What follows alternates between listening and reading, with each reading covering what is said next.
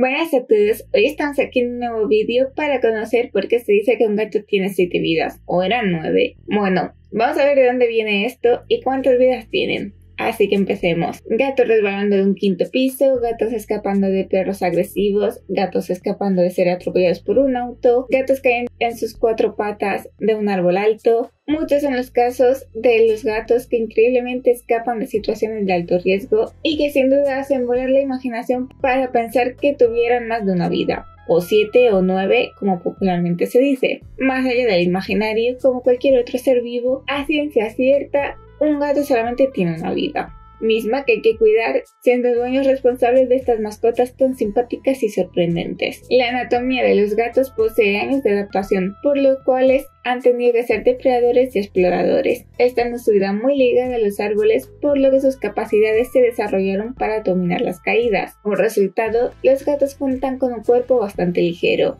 sus huesos y ligamentos son muy flexibles y desarrollaron una especie de reflejo de enderezamiento que los ayuda a caer de pie la mayoría de las veces. Además tienen gran destreza, reflejos veloces y una rápida toma de decisiones. Y ahí la clave de su éxito frente al peligro. Pero, ¿de dónde viene la creencia de que un gato tiene muchas vidas? Pues el mito de que los gatos tienen más de una vida ha existido prácticamente desde que se tiene registro de su especie. Por lo mismo, y con el pasar de los años, en diversas partes del mundo y culturas son variables la cantidad de vidas que supuestamente poseen. Existen ciertas leyendas turcas y árabes donde se mencionan seis vidas en los gatos. En algunas partes de España y Latinoamérica se cree que los gatos tienen siete vidas. Tal vez porque en estas culturas, y en algunas otras, el número 7 aparece recurrentemente con un alto simbolismo. Los siete pecados capitales, el siete de la suerte, los siete arcángeles, los siete días de la semana, las siete maravillas del mundo, etc.